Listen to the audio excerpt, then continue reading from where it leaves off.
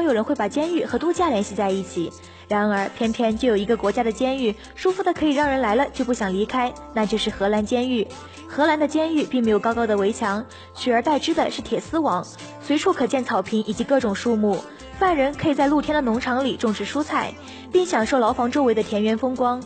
荷兰监狱从16世纪末开始改革，人性化的监狱系统与风车、奶酪和郁金香一样，让荷兰人为之自豪，以至于有网友说，这里的监狱就和度假村一般，不仅仅是外观看起来像，走进监狱内你更会感到惊讶。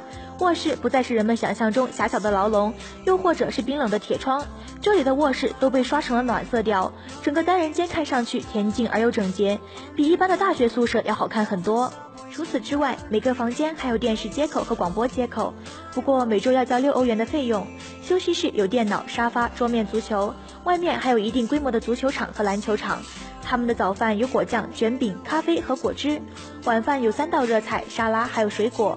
更加人性化的一点是，在每个监狱都有一个公开的厨房，供犯人自己做饭改善伙食。据说这一切的安排都是为了让犯人们在这里找到家的感觉，从而有助于他们收获一个美好的心情。这对心灵改造是有帮助的。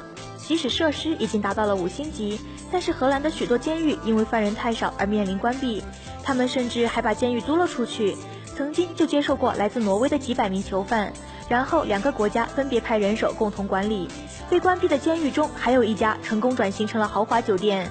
一番改造后，原来的牢房都变成了客房，还吸引了许多游客前来体验。